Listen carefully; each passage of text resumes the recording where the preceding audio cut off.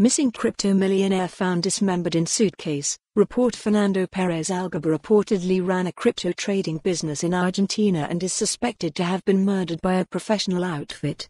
News Join us on social networks. A missing cryptocurrency millionaire and Instagram influencer based in Argentina has turned up dead, with police suspecting murder after he was found dismembered in a suitcase. According to several local media reports, Fernando Perez Algaba, a crypto trader and influencer, was suspected as missing on July 18 when he failed to return the keys to a rented apartment and answer his phone. His remains were found less than a week later on July 23 by a group of children in the town of Ingeniero Budge, a province of the Argentinian capital.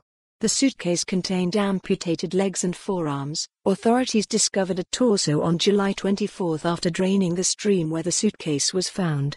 A head was found in a backpack a day later on July 25. Analysis of fingerprints and tattoos identified the body as the missing millionaire and an autopsy suggested he was shot three times before he was dismembered.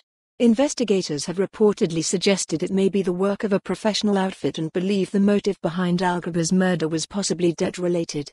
One suspect has already been arrested in possible connection to the case. Algaba is said to have been a crypto trader in Buenos Aires where he operated an office that employed 25 other traders. Related, Missing Bitcoin Millionaire and OnfoCoin follow the URL for the full article for more on this story, visit the news article link.